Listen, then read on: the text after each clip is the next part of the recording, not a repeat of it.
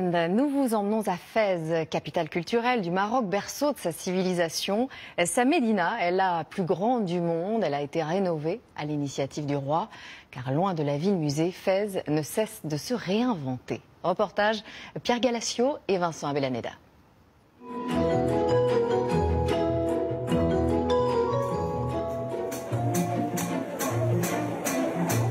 Prenez plaisir à vous perdre. Tendez l'oreille, laissez-vous surprendre par des parfums, des couleurs, observez, quitte à avoir l'impression de voyager dans le temps. Et si vous avez la tête qui tourne, c'est bon signe. Vous commencez à vous imprégner de l'atmosphère de la plus grande médina du Maroc. Un passage incontournable lors d'un week-end à Fès.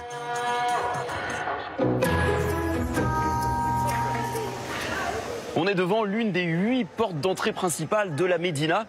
Imaginez à l'intérieur, il y a 9600 ruelles, un véritable labyrinthe. Et parfois, eh bien, il faut une boussole pour ne pas se perdre. Bien sûr, vous demanderez aussi votre chemin. Mais certaines zones sont peu touristiques. S'orienter est essentiel. Aucune voiture n'est autorisée ici. Vous croiserez donc des ânes, utilisés pour les chantiers. Depuis 5 ans, la vieille ville connaît le plus important plan de rénovation des médinas marocaines entre tradition et modernité. À l'image de ce marché couvert entièrement dédié aux babouches. Pour adultes et pour bébés. C'est le souk le plus important au Maroc des babouches. ici de face, on vend à Marrakech, à Agadir, à Tanger, à Oujda, tout le Maroc, même à l'étranger. Comptez une dizaine d'euros pour une paire et selon vos talents de négociateur, entre 20 et 30 euros pour la babouche royale. La plupart des artisans produisent en dehors de la Médina. C'est à 10 minutes de route en voiture. Et nous, on a pris un triporteur, c'est quand même plus agréable, on est à l'air libre. Et puis regardez, il y a des tapis, c'est confortable. À présent, écoutez le langage de l'artisan le plus patient de Fès. Hassan Si tisse 10 cm par jour. Il travaille sur un métier à la tire inventé au 7e siècle un art qui avait failli disparaître. Je tisse à la manière ancienne. Je pense pas au temps. Et le temps, dans ce genre de métier, ça n'existe pas. Là, c'est l'envers et là, c'est la surface. Moi, j'attends la fin du tableau et c'est là où je fais un, je jette un coup d'œil pour regarder ce qui était. Oui, toujours, c'est beau. Des tissus mis à l'honneur l'an dernier sur les murs de la Médina lors du Festival des musiques sacrées. Si ce spectacle nocturne vous attire, prévoyez votre week-end au mois de juin. Le Festival de Fès des musiques sacrées du monde a célébré l'année dernière les savoirs ancestraux. Et cette année, le festival va célébrer cette renaissance exceptionnelle de la Médina de Fès. Une renaissance que Caroline, elle aussi, a constatée. À son échelle, bien sûr. Elle vit dans un riad où les tortues sont considérées comme des porte-bonheur.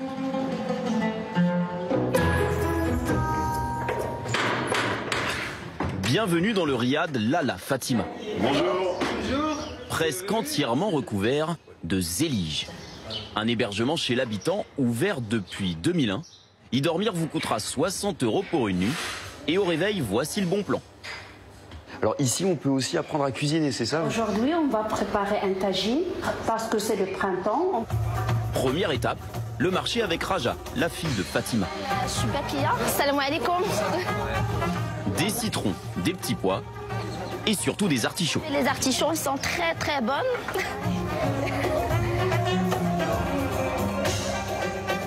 Voilà ce qu'on rapporte du marché. Merci beaucoup.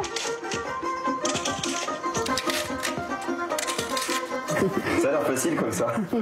Mais c'est pas facile. Donc là, c'est une, une, méthode traditionnelle de Fès. Oui. Toutes les vrais fessiers savent le faire. Ah. Pour ce cours de cuisine et ce déjeuner, comptez 45 euros. Allez, toi aussi, Vincent, viens manger avec nous. C'est désormais l'heure du thé. Et de la découverte insolite de notre week-end. Sur la terrasse de ce café, nous rencontrons Isabelle, enquêtrice au guide du Routa. Une fois par an, elle arpente la Médina pour mettre à jour ses notes. On vérifie les anciennes adresses qu'on a dans le guide et euh, il faut qu'on en trouve aussi de nouvelles. C'est en se perdant dans les mille et une ruelles de Fès qu'Isabelle a déniché dans un cul-de-sac l'entrée d'un palais somptueux. Alors vous êtes le bienvenu. Hein Merci, Choukran. Oh là là, c'est magnifique. Le palais El Mokri, du nom d'un pacha marocain qu'il a édifié en 1906. Aujourd'hui, il est en restauration, ouvert aux visites sur rendez-vous. Routard, c'est typiquement ce qu'on recherche. Euh, c'est le, le petit joyau qu'on murmure à l'oreille de nos lecteurs. La Médina paraît très loin. C'est vraiment un lieu magique, insolite, qu'on s'attend pas trop à trouver. Youssef, il y a combien de chambres ici potentiellement pour accueillir les touristes? Alors euh, le palais, il y a à peu près 123 chambres et pièces au total. La ville de Fès a été fondée au 9e siècle. Une riche histoire que les jeunes Marocains veulent se réapproprier. Le renouveau de Fès passe aussi par cet atelier d'artistes. C'est très calme. Euh, on dit souvent que c'est une ville de, vieux, si je peux me permettre.